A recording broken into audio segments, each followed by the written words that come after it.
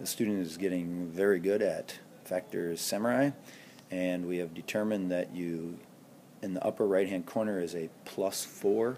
That means she has four lives in this game. Every time you miss a uh, correct factor, you lose a life and you go back to zero. And uh, what do you think of the app so far? I find it quite enjoyable. And are you on the hardest, medium, or easiest level? Easiest right now. Okay. What's your highest you had? 69. Okay. Thank you.